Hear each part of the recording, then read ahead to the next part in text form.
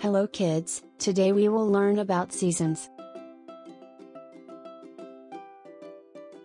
Summer season is, one of the four seasons the hottest season of the year.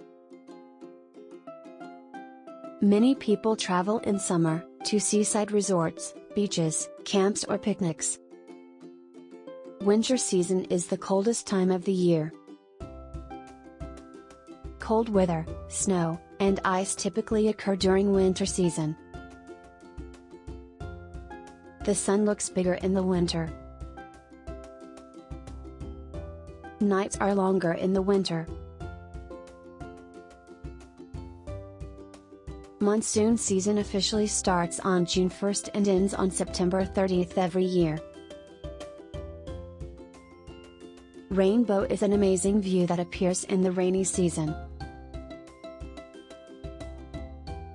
Rainwater penetrates the ground increasing the level of groundwater. Groundwater is one of the main sources of water used for irrigation purposes. Rainfall is a natural source of water and water is the basic need for our life including plants, animals and all the living organisms.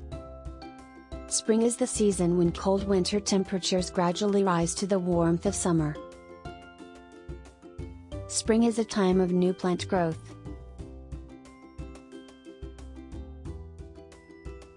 Autumn is the season when warm summer temperatures gradually decrease to the cold of winter.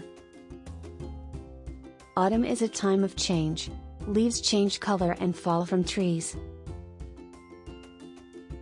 Autumn is when many crops are harvested, or gathered. By this video today we learned about 5 seasons that are summer, winter, monsoon, spring and autumn etc.